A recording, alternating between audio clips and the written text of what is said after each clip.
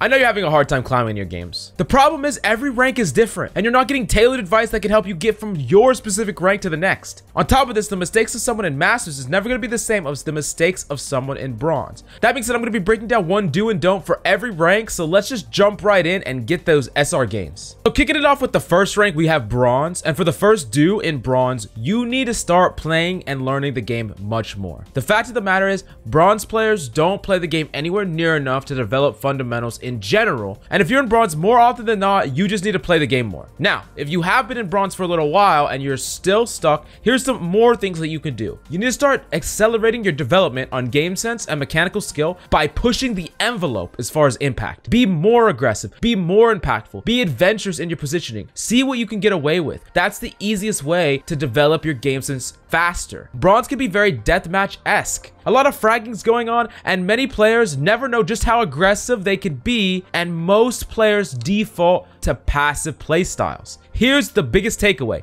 Passivity is the easiest way to get hard stuck, especially in bronze or any of the lower tier ranks. A general rule of thumb is most players will fail to punish you even if you are over aggressive. So there's a lot more value that you're leaving on the table by being extremely passive. Now moving along to the don'ts as far as bronze is concerned, do not worry about the meta or what people tell you to play down in bronze. Everything is viable in bronze if you follow the simple rule. Get kills, don't die. Even if you're a support, a tank, still, get kills and don't die. You're a Rein, swing in, get shatters. You're an Ana, shoot the enemy, hit them with nades. DPS, of course, just do what DPS do. Get kills, don't die. You do this more in bronze and you will climb. Never ever trust your team. If you want to climb, you need to have expressive value on the table in the form of kills that relies on no team help. Don't be pocketing your Rein over and over again because in bronze, you cannot rely on that Rein to do literally anything. You need to be the one that's making proactive impact.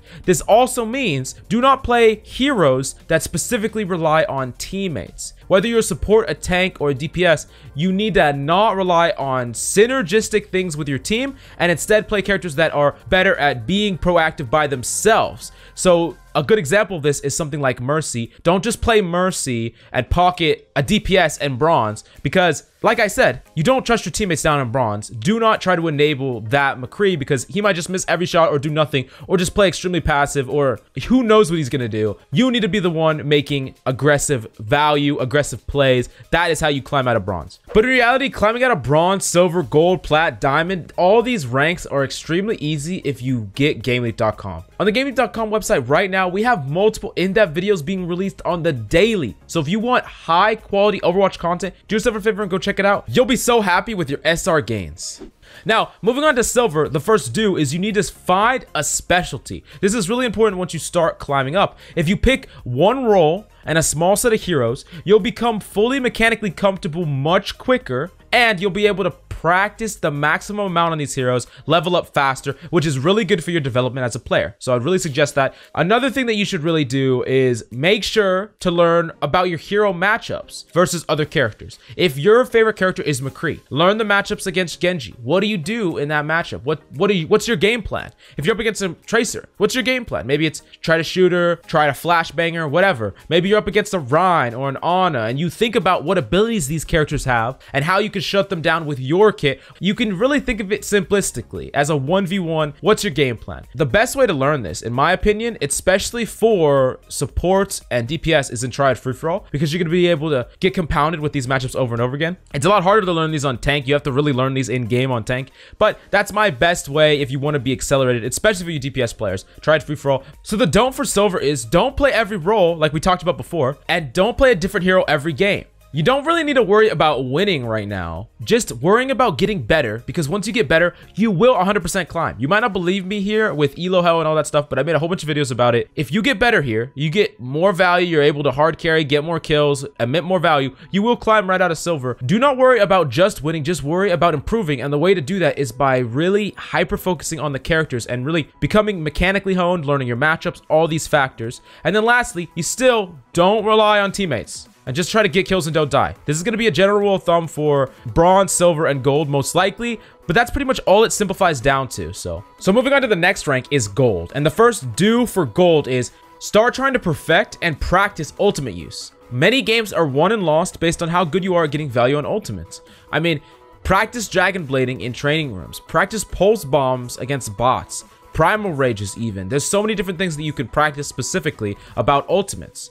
This is a really powerful thing that you need to do. It's pretty simple, but I think that it's really important to climb out of gold. You need that big oomph of value, and you want each and every ultimate to get a certain level of value to help you climb. Now, the don't for this rank is don't waste abilities. Keep each and every intent in mind. If you use your nade as Ana, self-nade, for only 10 HP, what potential did you miss out on using your nade aggressively? A three-man nade would have won you the fight, but instead, you just healed yourself for 10 HP. Extreme misuse of your resources, and this happens immensely at lower ranks. Another thing is, did you just fire your sleep randomly?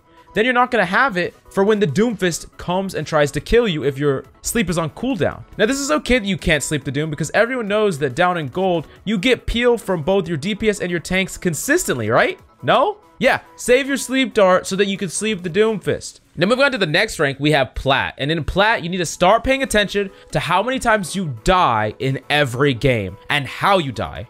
You need to track what you're dying to and why.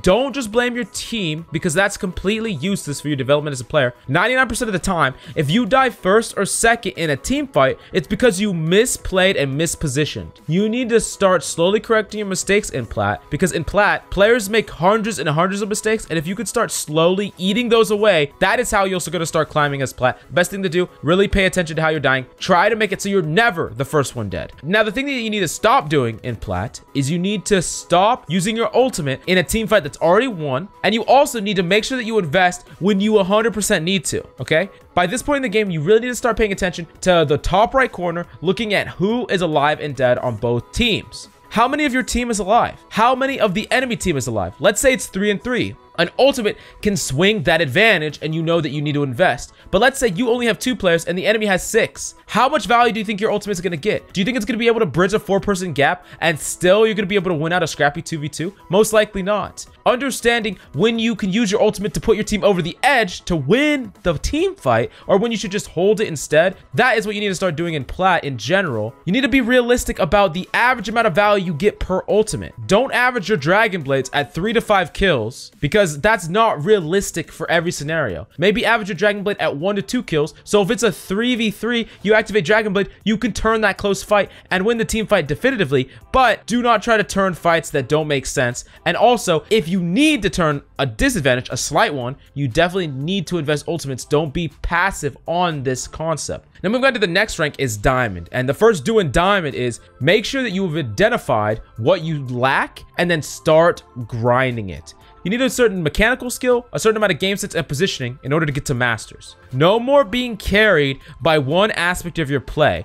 At the previous ranks, if you had good game sense, positioning, or mechanics, any one of the three, you could have climbed all the way to Plat. You could have climbed all the way to Diamond. But if you want to get to Masters, that's not going to cut it anymore. You need to start reviewing your own gameplay or getting a coach to review them. And then you need to figure out exactly what you need to work on as a player. Positioning, game sense, mechanics, or a culmination of the three. Watching kill cams is extremely good. Take a note when you failed to execute game plays and when you got punished for poor positioning. Now, the thing that you need to don't do in Diamond, you need to stop playing on shitty hardware. If you're using bad controllers, really poor mouses, if you're on PC, you're just using a 60 hertz monitor, you're playing on a laptop, make sure that your hardware is good. And if you have a PC, max out FPS and get a 144 hertz monitor minimum. You need to start having good tools here because as you get to Masters and Grandmaster, everyone's gonna have way better hardware. Don't hold yourself back with bad hardware, whether you're on console or PC. Give yourself the best tools to perform and play the most amount of hours. That is how you set yourself up to succeed. Now, moving on to Masters rank, the first do is you need to start paying attention to the meta more and make sure that you can at least fill within it in some capacity. And if you do not play meta, you need to have a game plan to play against meta. Sure, maybe the meta isn't Sombra, but if you have a game plan to play against the meta of Rein Mei and you know exactly what you could do to get value into that comp or into the meta comp, that is how you go in with the mindset to succeed. Another thing is you can also just play meta characters extremely well to climb, but you need to also keep the matchups in mind. If you're Rein, think about this like in this meta, having a plan to bait out a Mei wall, or flashing a Bubble Rein Shield as McCree. These are interactions between the meta characters that you need to perfect and master that will really help you climb through Masters. If you know the meta, you know how to play with it and around it, how to apply all these different factors into getting you the win in each and every game. Now, the thing that you need to not do in Masters is do not let yourself get farmed. In Masters, you're going to start going up against top 500 and Grandmaster players every once in a while. No matter what the situation is, do not let yourself get farmed. Do not let yourself get rolled over and over again. You need to start adapting to your situation, and no matter who you are or who you're up against, you need to keep your mistakes as low as possible. And if the enemy is abusing you specifically to get team fight wins or free value, you need to swap off. You need to change up your playstyle. You need to play a character that hard counters them whatever you have to. Do not let yourself be the one that is bringing the team down in any situation, no matter what. Even if you have to adopt a more passive playstyle to prevent from feeding, that is just how you're going to have to go about it because it's better than getting farmed fight after fight. Now, Moving on to Grandmaster. The thing that you need to do when you get to Grandmaster is pat yourself on the back. You made it, but your work is not done. You want to climb even farther than this. The first thing that you need to do is learn how to push the balance of impact as far as possible without getting punished. This is a really interesting concept, but the thing that you need to understand about this is understand that you need to respect enemies and their ability to punish you, yes, but over respecting enemies can turn into a flaw. The tighter the positioning and the cleaner your mechanics, the more that you could do and get away with while still getting punished less by the enemies. If your flanks are extremely clean, if your mechanics are extremely clean, the window of time to punish you is going to be so tiny while you're making these proactive plays. And the better you are at positioning, mechanics, transitions, all these things, the more likely you're going to be able to pull off an insanely proactive play and get away from it scot-free. This is what Grandmasters do better and better. And this is what top 500s do so well. Their transition time, their mechanics, everything is like maxed out so that they know how to push the envelope to such a high level with still not getting punished. Now, the thing that you need to not do in Grandmaster is you need to not stop evolving and stop learning. At this level, everyone is like a streamer, a hardcore grinder, or on the path to pro. If you want to compete, you need to constantly improve and push yourself. Iron out each and every mistake and be a better player in every single game, slightly better than the game before.